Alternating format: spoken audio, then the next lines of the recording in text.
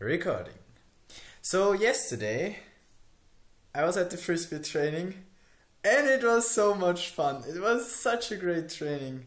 Ah, I didn't even forget how to play frisbee. Hmm? It worked pretty well. Only once or twice where I didn't catch the disc.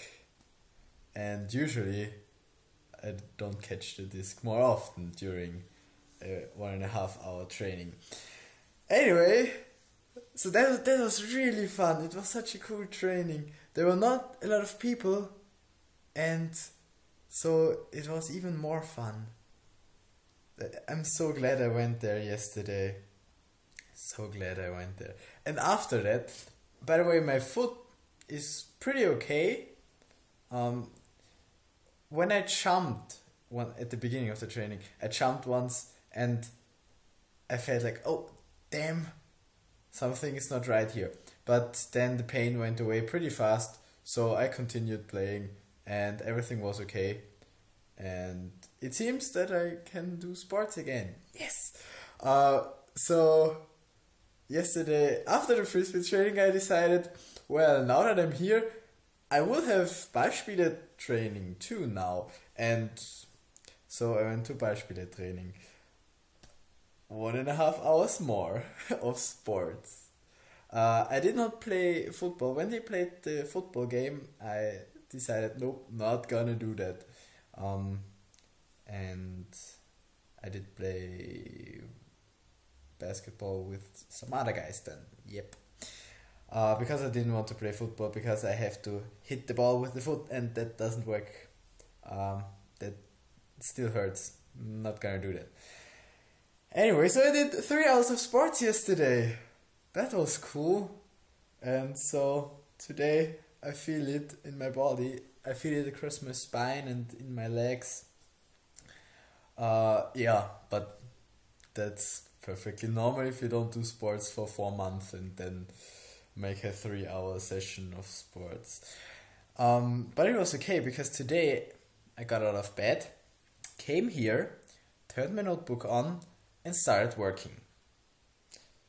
I worked and I just got up a few times to get a glass of water, or I stopped for having a short Skype conversation or something. But I pretty much worked for 11 hours and because I have a deadline today, there's a deadline today at midnight, and I pretty much do the stuff at the last possible moment. Are you also one of those guys who does that? Uh, I really do that, and usually it works really fine. Uh, I've never had the problem that there's not enough time for me to finish.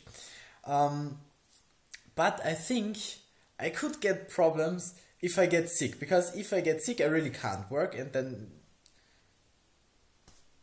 I, I'll fail. I, I can't do it in time, and that's why I should make it earlier, but I really don't because I really don't find the motivation to do it, and in the last moment I, I have the motivation because it's either now or you don't do it at all and you fail the course or you get fewer points.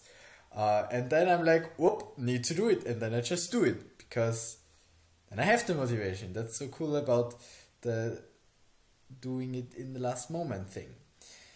Uh, yeah, so did that today. 11 hours. Other people told me they needed 3 hours. And I understand it wasn't a lot. So why did it take me 11 hours?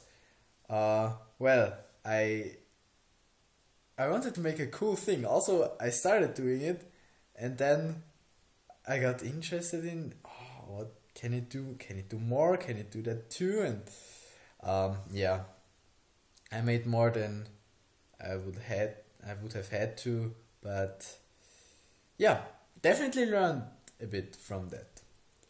And now it's assigned, it's done, and I can relax for the day.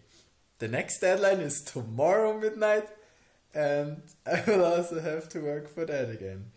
But I'll do that tomorrow. Today I'm just gonna be a relaxing day, afternoon, night.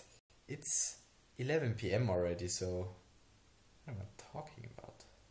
Anyway, oh, this got longer than expected. Right, you make your backup. I'll see you tomorrow.